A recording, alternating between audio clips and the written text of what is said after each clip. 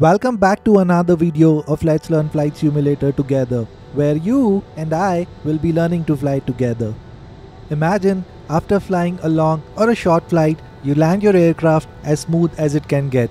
Would you not want to stare at your landing over and over again, or maybe record your landing? Apart from the boring cockpit and outside view, wouldn't it be fun to spot your landing or even take off from anywhere on the ground? Let me show you how you can use the drone camera so that you can replay your flying from wherever you would like. Before you use the drone camera, let me tell you that your flight controls get disabled when you are using it. So, you can either pause your flight to look around or you can use the drone camera while replaying your flight. Let's see how to use the drone camera in replay mode. You can also use these instructions to use the drone camera during your regular flight. Once you are sure of your starting position, Pause your replay so that you can set your drone position. To set your drone position, we need to access the drone camera first. From the UI, open your camera menu. Make sure your camera track recording is on, otherwise you won't be able to change the camera angle. To access the drone camera, click Showcase. You will find the camera drone option under the free camera option. Now, let's look at these options one by one.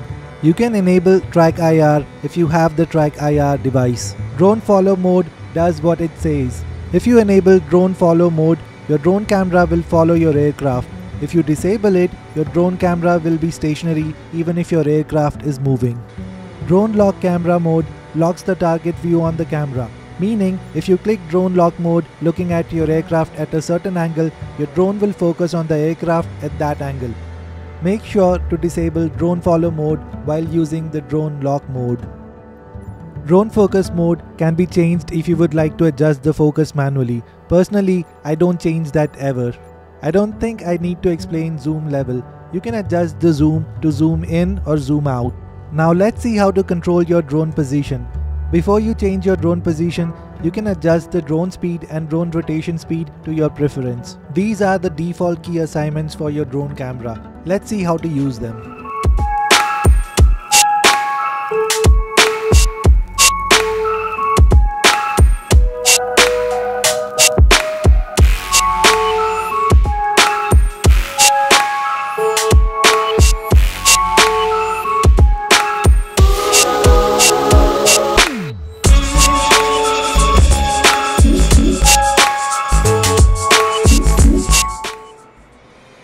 Let's use whatever we have learned today to get this camera angle. Disable the drone follow mode. Use the drone to get close to the nose of your aircraft before locking that view. This looks good. Now move your drone to your desired position.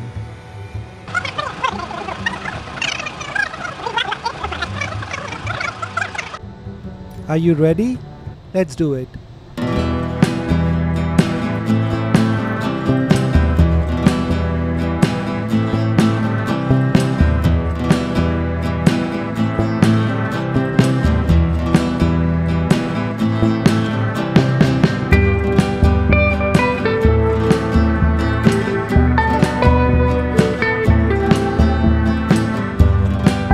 Hope this was useful.